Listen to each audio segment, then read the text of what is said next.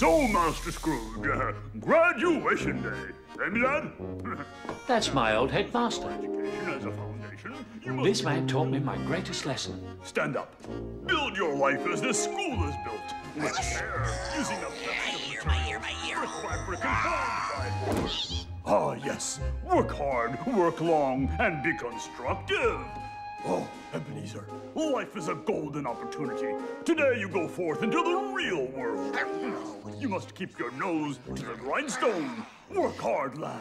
And one day your life will be as solid as this very building. Hmm. I've been meaning to fix that shelf. Yes, master. Well, young man, you have been apprenticed to a fine company in London. Today, you become a man of business. I'm looking forward to it, Headmaster. Mm, you will love business. It is the American way. Sam. hmm? It's just. just Oh, it is the British way. Good. Yes, Headmaster. Hmm. Hmm? Oh, here is your coachman, Ebenezer. Come, Scrooge. There is much to see. London, my lad. Remember, don't tip the driver.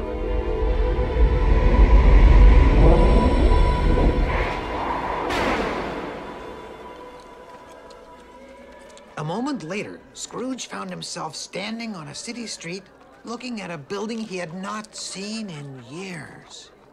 Tell me, Ebenezer Scrooge, do you know this place? Know it? My first job was here. This is Fozziwig's old rubber chicken factory. Once again, it was Christmas Eve. Night was falling, and the lamplighters were plying their trade. Hey, hey, hey, hey, hey, hey, hey, light the lamp, not the rat, light the lamp, not the rat. my What are you apologies. doing? Put Uh, me out, put me out, put me um, out, uh, put me out, put me out, put me out. What?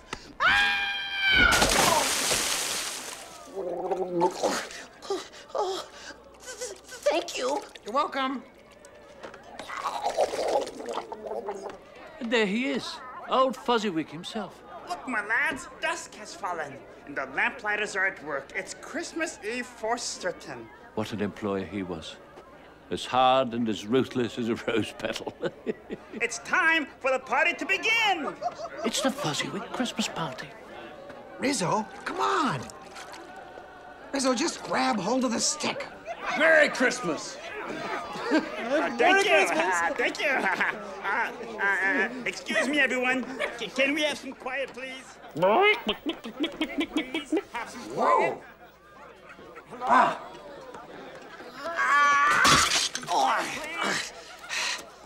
I suppose I should be grateful for that. You're welcome.